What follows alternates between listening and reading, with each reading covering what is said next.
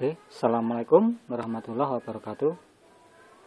Pada kesempatan kali ini saya akan men-sharekan pada hasil pemotongan pada tanaman alpukat. Ini adalah hasil dari sambung pucuk. Ini yang atasnya telah saya potong-potong menjadi beberapa bagian untuk memperbanyak seperti cara yang telah kita videokan kemarin. Nah ini hasilnya. Ini pada cabang yang besar sudah saya potong. Bisa kita lihat. Nah ini tinggal cabang yang kecil yang tersisa.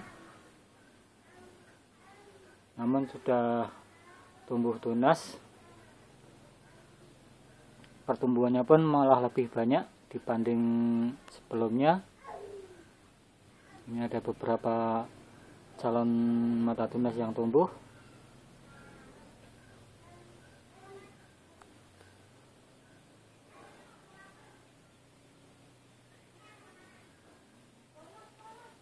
Ini sudah hampir berapa bulan sejak pemotongan? Sekitar 25 hari. Ini sudah nampak bertunas panjang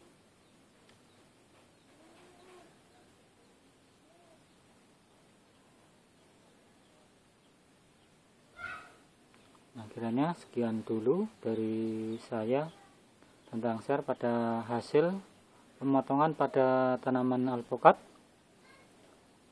Pertumbuhannya jelas lebih banyak dan rimbun dibanding pada sambungan semula.